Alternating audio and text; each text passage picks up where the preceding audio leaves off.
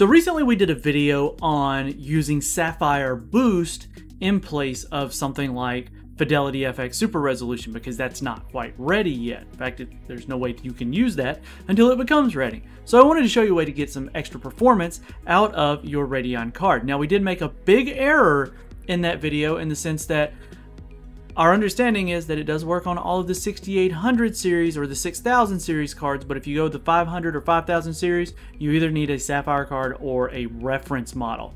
All the cards that we have here in the office are reference or the couple of Sapphire models that we have. So that's my fault. I did want to clarify that before we get any further into it. But one of the things that I noticed a lot of in comments was referring to uh, Radeon Boost. So this kind of on Sapphire for this one for naming it Sapphire Trixx Boost because Radeon Boost is a bit different. But before we get into how the differences is between those, I wanted to differentiate between Radeon Image Sharpening and Fidelity FX CAS or Contrast Adaptive Sharpening.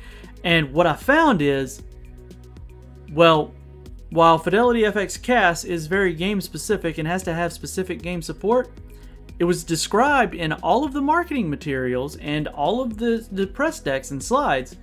They're, they're described exactly the same. It's a per pixel sharpening feature, not a general over the whole screen sharpening. So it's per pixel, where areas that it's already sharp, it doesn't add additional sharpening. So it leaves those like they are, and then areas where the it's kind of muddied, say from TAA, so temporal anti-aliasing, it sharpens those areas up and smooths it out. Now, I imagine that in games that have Fidelity FX CAS, the algorithm is a bit stronger, whereas for Radeon Image Sharpening, it's kind of a global on-off toggle, whereas Fidelity FX CAS is game specific. And they do have the ability to use the GPU's internal scaler to reproduce the, or not really reproduce the image, it just displays the image across the native resolution. So that gives you the ability to look uh, much more crisp without over sharpening everything. So now that that's out of the way, what's the difference between Radeon Boost and Sapphire Trixx Boost? Well, let's talk about what Radeon Boost is first. Radeon Boost is a, it is, just like Fidelity FX CAS, is very game specific.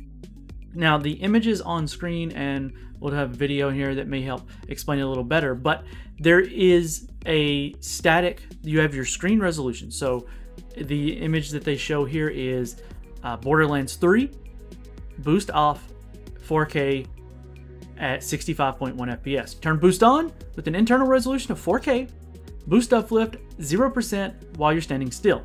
Now, if you start to move the camera, so whether it's a controller or your mouse input, you start to see a difference with performance. So with boost off, it stays at 4K. When you turn boost on, you can do an internal resolution all the way down to 50%, meaning a 4K image can reduce dynamically down to 1080p while in movement and it jumps your FPS in this example from 65 to 108. Now the idea here is it works with motion blur and the fact that the game is moving that you won't really notice the reduction of resolution. Now, I personally can tell whenever I use this. However, it's it's an interesting thing the fact that when you're moving, your frame rate is going up, and whenever you're staying still, your frame rate is going down but that's uh, that's just how that works. Now, that is what Radeon Boost is. It is a dynamic resolution modifier that only takes effect when the camera movement is in place. So the overall, like if you if you stop and you want to look around the world and you're just looking, you go, oh, it's so pretty. That's going to be static. Now, when you start to move, it's going to go dynamic. It's going to drop the resolution. Now, you can go up to that 50% mark. You can go a lot less. If you're if you're dropping just under 60 FPS and you want to stay just over it while you're in the middle of a, a fight or whatever, that's fine. Now, let's jump over and talk about what Sapphire Trixx Boost is because everybody seems to think these are the same things and they are not.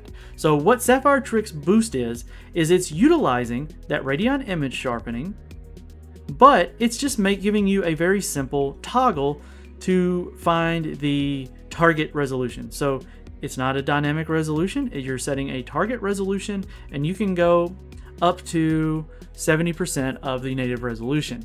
Now the fun thing here is you don't need Sapphire Trixx software to do it. The Trixx software and the Trixx Boost just give you a simple page that kind of does the math for you and helps you pick the resolution in the game. Now you can't just set, if, if you do 1440p and you're running it at the reduced resolution, you don't leave the game at 1440p and then it does everything else. You have to change the resolution in the game to that new resolution, but it is utilizing Radeon image sharpening technology to and the GPU internal scaler to fill the screen and sharpen the image and try and draw it back.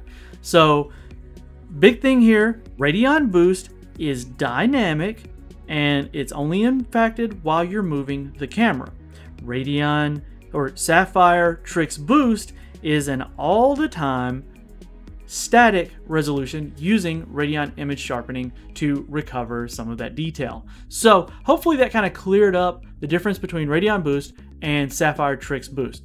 And do you need Sapphire Trixx Boost to do the trick that it does? No, you really don't. You can use a custom resolution in the Radeon settings. Now, you're going to have to do the math yourself so that's up to you. If you want to do that, you want to do, it's easy. You just take the resolution, 1920 by 1080, you multiply each one of those numbers by 0.85, and now you got your new resolution. If you want to do 85%, if you want to do 70, it's 0.7.